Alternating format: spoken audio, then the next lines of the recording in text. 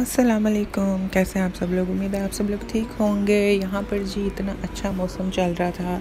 इतना अच्छा मौसम, एकदम से आया, काले बादल छा गए थे और ठंडी ठंडी हवाएँ आ रही थी। तो मैंने सोचा कि मैं भी आपको दिखाऊँ कि बहुत अरसे बाद यहाँ पर इतना अच्छा मौसम आया है। और मैंने सोचा कि झटपट सी बिरयानी बनाते हैं, थर्टी मिनट बिरयानी। झटपट सी वो भी मेरे स्टाइल में।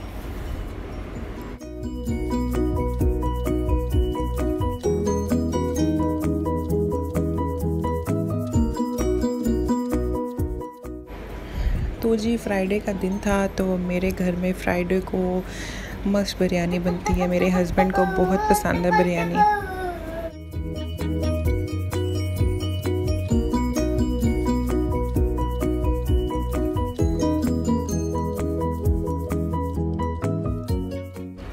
सबसे पहले जी, कढ़ाई में मैंने डाला था कोई आधा कप सा ऑयल और सॉरी मेरी डॉटर मेरा पीछे मेरी नकल उतार है कि जैसे मामा बोल रही मैंने भी वैसा बोलना है। ऑयल गर्म हुआ तो मैंने इसमें चार मीडियम साइज़ के टमा सॉरी चार मीडियम साइज़ के प्याज डाले।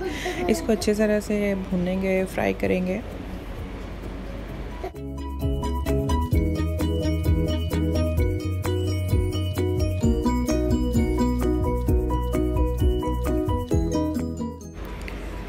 जी, इसमें उसके बाद जब प्याज थोड़े से ब्राउनिश हो जाए, उसके बाद मैंने टमाटर डाले, दो टमाटर इसको चॉप तो नहीं किया, ये मैंने फ्रीज़ किए हुए थे तो मैंने ऐसे ही काट के इसको डाल दिया और साथ ही मैंने चिकन डाला और इसको अच्छी तरह से भूनेंगे और फिर बाद में इसको कवर करके 10 मिनट के लिए हम पकाएँगे मीडियम आँच पर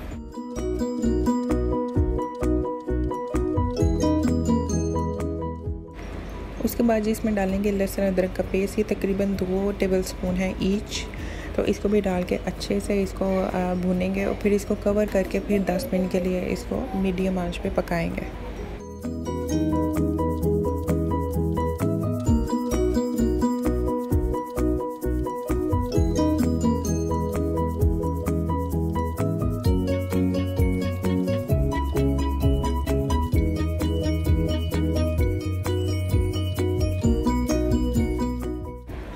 पर जी, चिकन ने अपना पानी छोड़ दिया और हम इसको अब अच्छे से और भुनेंगे।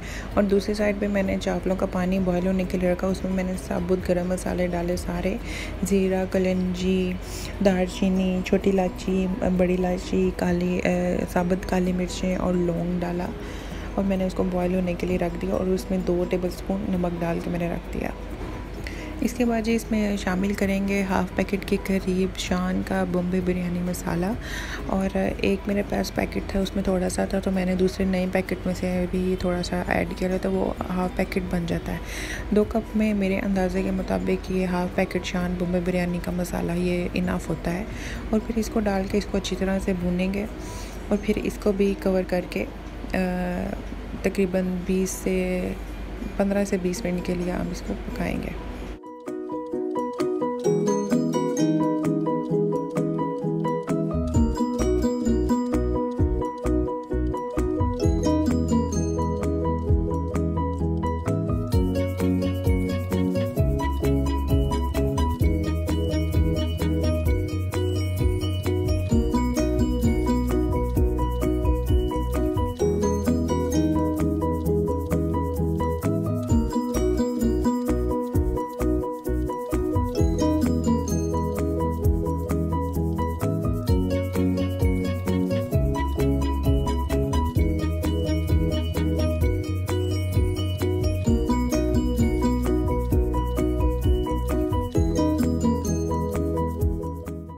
यहाँ पर जी आपने ग्रेवी का पानी अच्छे से ड्राई करना है और दूसरे साइड पे पानी भी बॉईल हो गया था चावलों का तो मैंने उसमें चावल ऐड कर लिए और उसको मैं एक कन्नी पे उतार लूँगी।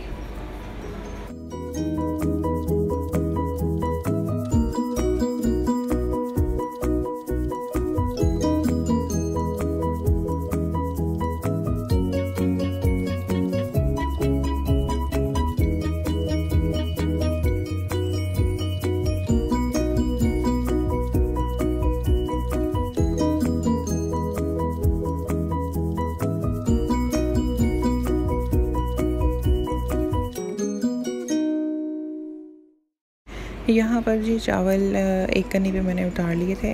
इसके बाद मैं इसकी तहे लगाऊँगी और ग्रेवी का भी पानी बिल्कुल मैंने ड्राई कर लिया था।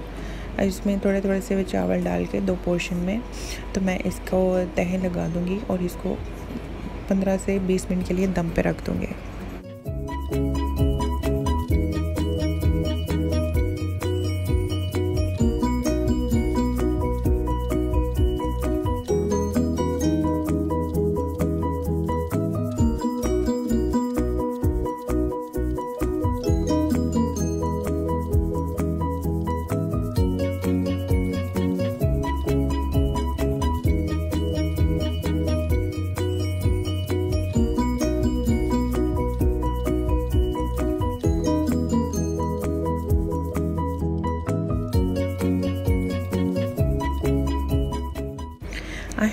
मेरी आज की रेसिपी आज की वीडियो अच्छी लगी होगी। प्लीज़ शेयर करें सब्सक्राइब करें एंड लाइक करें। प्लीज़ बेल के आइकन को ज़रूर प्रेस कर प्रेस कर लीजिएगा। Thank you for watching and अल्लाह हाफिज़